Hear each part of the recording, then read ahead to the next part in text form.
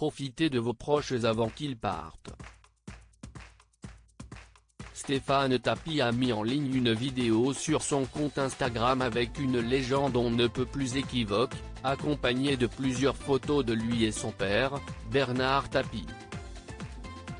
Un message d'autant plus touchant que, ce n'est une surprise pour personne, l'homme d'affaires, très atteint par la maladie, risque de ne plus vivre très longtemps.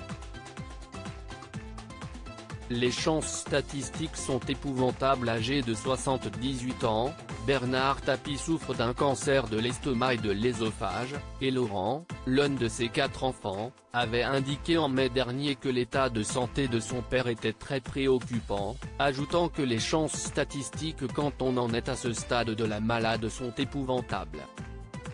Sur la première image du diaporama, on voit Bernard Tapie les bras croisés devant l'objectif.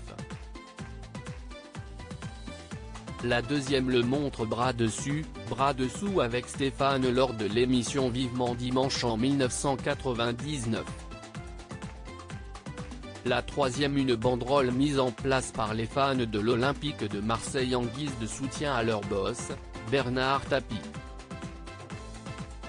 Tandis que la dernière, très touchante, montre le père et son fils se tenir la main, à l'hôpital.